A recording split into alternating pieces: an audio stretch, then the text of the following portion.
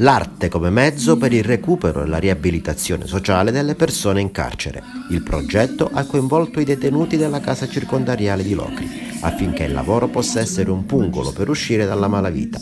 L'iniziativa è stata finanziata dal comune di Gioiosa Ionica in collaborazione con la consulta delle associazioni, mentre le opere realizzate dai detenuti sono state esposte nel cortile di Palazzo Ameduri. Il carcere lo intendo come un luogo dove si diano alle persone delle opportunità, opportunità di riscatto e benvengono queste iniziative, il lavoro, lo studio, l'arte, tutto quello e grazie alla partecipazione appunto della società civile. Solo così il carcere può fare sicurezza sociale, può restituire delle persone diverse che hanno capito di avere sbagliato e intraprendano la strada della legalità. Eh, quello che è stato fatto al Tribunale di Logri è stato veramente qualcosa di eccezionale, ritengo, non per le opere che sono state eseguite, i risultati concreti e materiali, per l'entusiasmo che è stato suscitato eh, in tutto il, il personale dipendente dell'ufficio.